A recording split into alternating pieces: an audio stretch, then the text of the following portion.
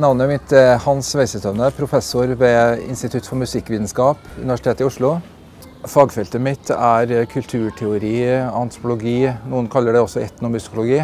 Men det handler da om å undersøke hva musikk betyr i ulike kulturer og for, for ulike grupper mennesker.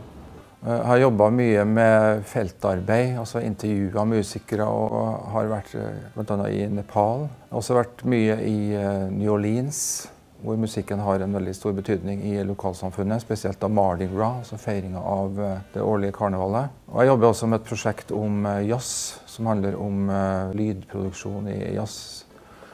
Jeg er opptatt av at musikalsk kunnskap er noe som ikke sitter bare i verket, eller noe man analyserer seg fram til som en musikkforsker, da, men at musikere innehar kunnskap som kan forskes på og framstilles. Folk har også ulike opplevelser, men som ikke er noe mindreverdig enn det som såkalte eksperter ofte har.